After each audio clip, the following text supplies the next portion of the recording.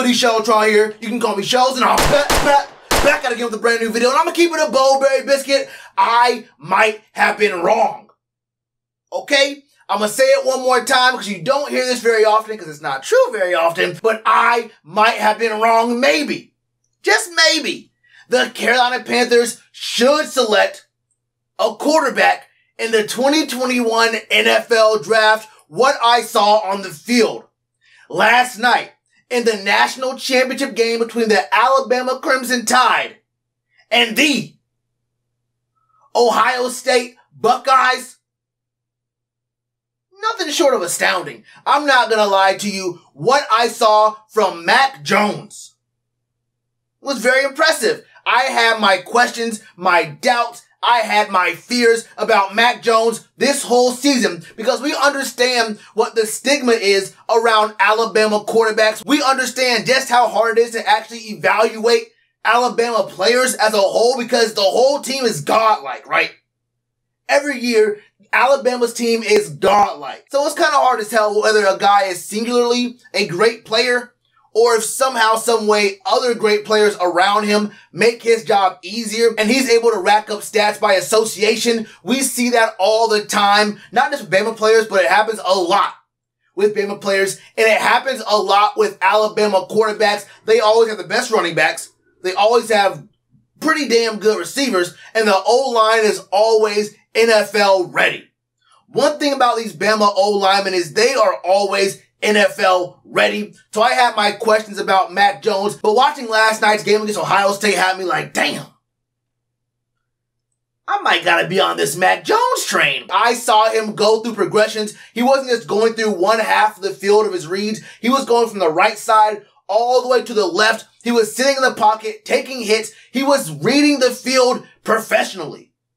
Mac Jones was extremely, extremely impressive. He looked athletic. I saw him roll out. I saw him making passes on the run. I saw him keep his eyes downfield. I saw this man do things that made me remember a guy who used to be here in Carolina. Now, it wasn't to the same degree. Mac Jones is not that guy at all. But behind the line of scrimmage, I saw a lot of things out of Mac Jones. He looked like a very smart quarterback who knew what to do when there were pieces around him. Can we just peek this man's stats? 45 total passes, 36 completions. He only missed on nine total passes, 464 yards, five touchdowns. Now he did lose a fumble, had the ball held out there. It was a really bad, ugly fumble. You really do hate to see.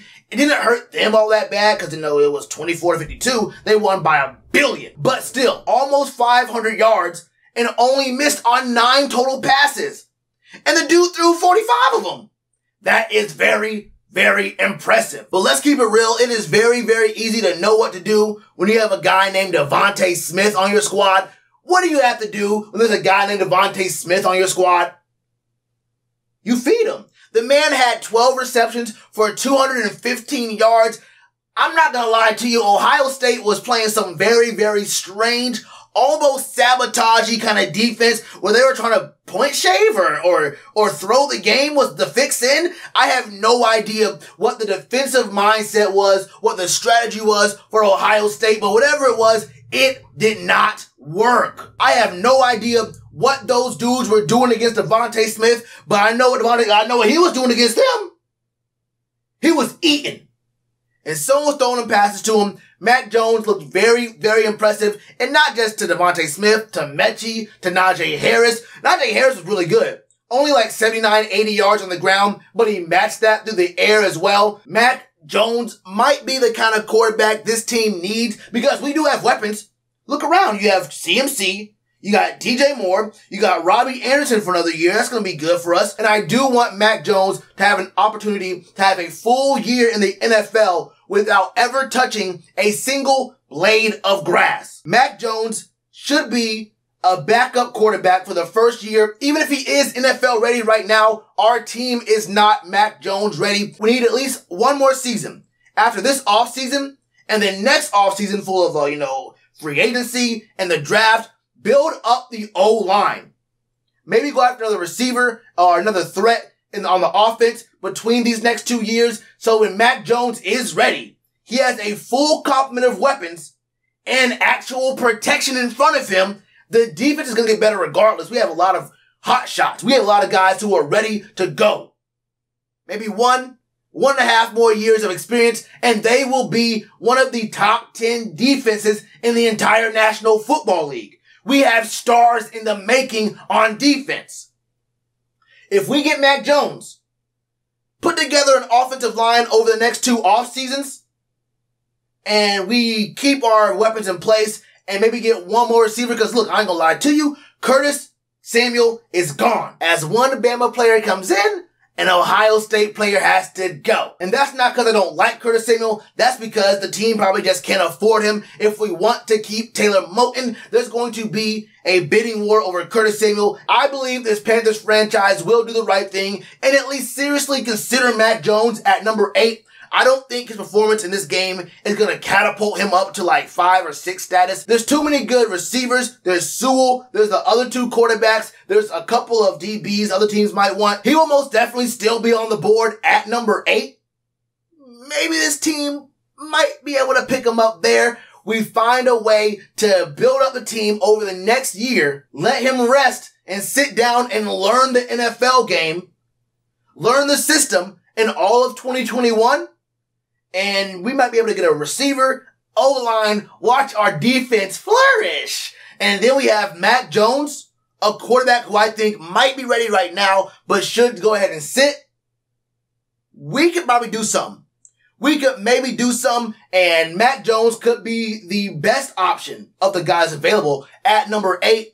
I'm to do a whole video on the other quarterbacks Zach Wilson, I'll say right now, I don't like him because the shoulder injury, BYU didn't play anybody. And when they did play somebody, he didn't look all that great. Okay. I think Mac Jones could be a decent option. He could be a decent option for this ailing Carolina Panthers football team who is in dire need of a franchise quarterback. And Mac Jones could be a decent pickup there at number eight. You might even be able to trade down. If you do it right, you might be able to trade down and still be able to get Mac Jones. I don't know where he's going to land, but you could go down two, maybe three or four picks and still get Mac Jones and have more picks in your back pocket to help build up this team, specifically on the O line and maybe get one more receiver. Cause look, I have a very, very strong suspicion that if Mac Jones comes to the Panthers, he will not have to change his jersey number. That's how I feel about it. What are your thoughts on Mac Jones? the Panthers getting a quarterback, trading down for Mac Jones. Would that work? Do you think he's going to go up and ahead of number eight based off his performance in this national championship game? Or, or do you think that Mac Jones is not worth the pick? Do you want someone else? Let me know all your thoughts in the comments below. And you already know to do with that like button. Cheers to you, appreciate the chance. Being told y'all I been the man.